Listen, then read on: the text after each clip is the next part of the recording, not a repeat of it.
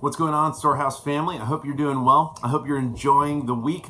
Uh, it's been a while since uh, I've made one of these uh, update videos.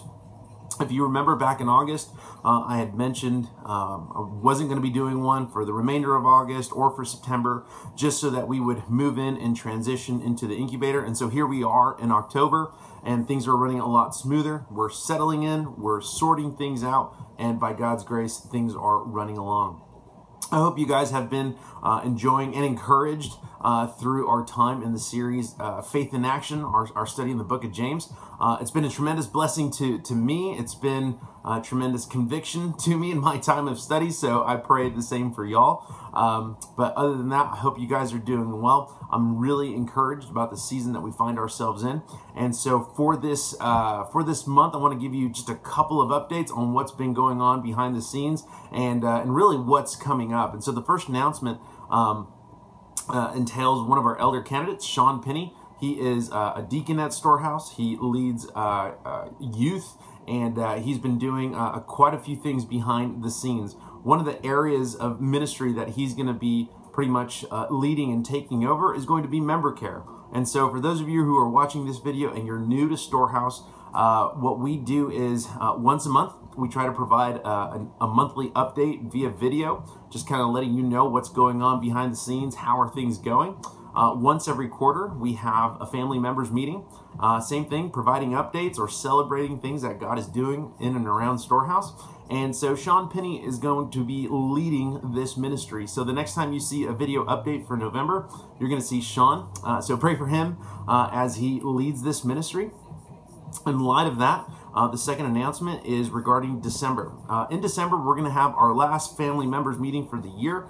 We're going to talk everything from budget and generosity and what God has been uh, doing this entire year at Storehouse my goal, my hope for this is for it to be a huge celebration of the grace of God. And so I would encourage all of you to attend.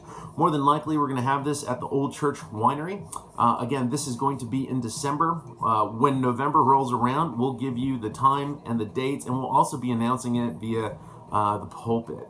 Uh, the third announcement, a couple of months ago, I came to leadership and asked them if uh, they would be okay, if they would essentially give me permission to take some time off. And uh, a couple of weeks ago, uh, they pretty much gave me the thumbs up. Uh, particularly, some of the guys that I that I sought after were James Belville and Sean Penny, who are two of our elder candidates.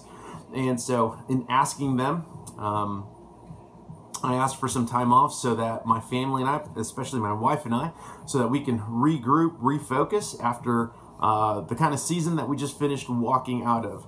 Um, as far as my marriage is concerned, we're doing really, really well. But this is a good time for us just to connect, regroup, refocus, enjoy one another, uh, get some time off, get some breathing time. Uh, so that we can finish the year, so that I can finish the year well. And so uh, that time starts next week.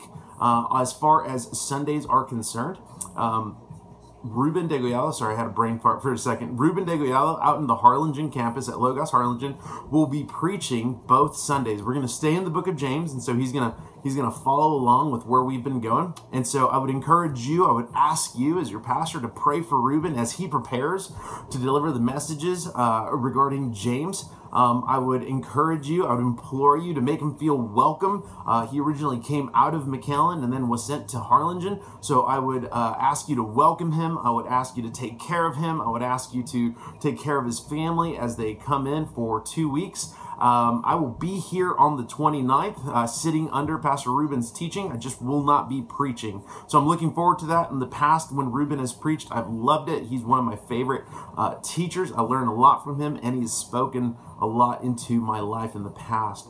And so that's kind of the announcement number three. But as far as that goes, I would covet your prayers as my wife and I, my wife Rebecca and I, get some get some time away.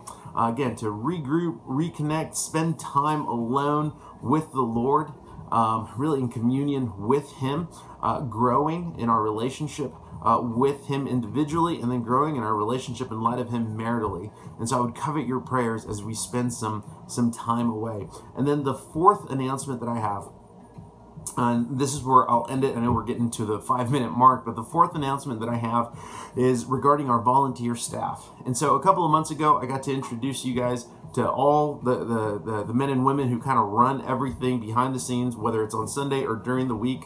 Uh, we have a tremendous team. I'm incredibly blessed to be uh, and humbled to be a part of this team.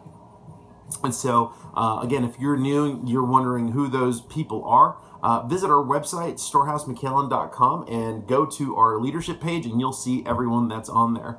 Uh, now, the reason I bring them up, uh, because we've come out of such a crazy season, moving, sorting things out, getting settled, uh, learning. Um, what kinks we have and trying to smooth those things out. Uh, I just wanted to bring these men and women up to you to let you know to pray for them.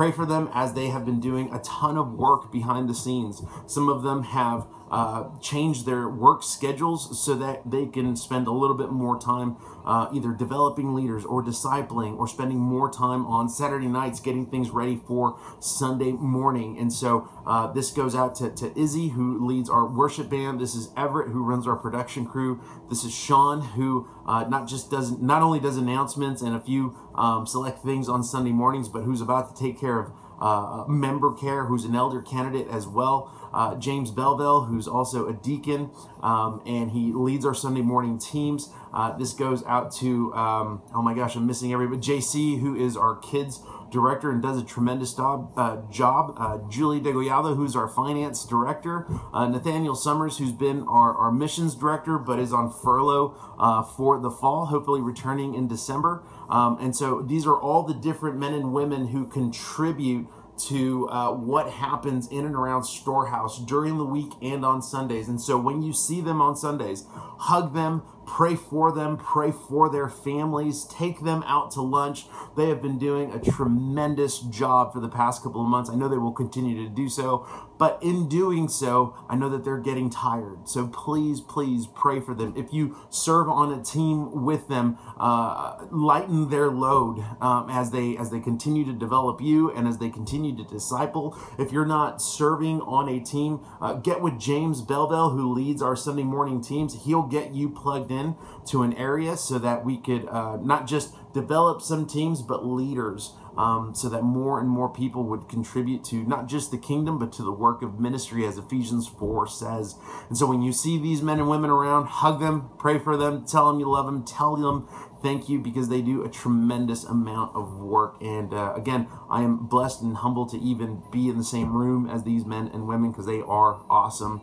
Uh, those are all of the announcements I have. Uh, sorry I went a little bit long, uh, just a lot since it's been a while. Uh, but once again, I love you guys. I will see you on Sunday. If you have any questions, visit the website or you can reply to this email. Uh, I love you guys and I'll see you on Sunday. Bye.